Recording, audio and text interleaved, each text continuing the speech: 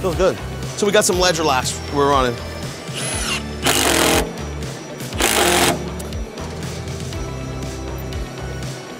Yo, wait, one more time. You ready?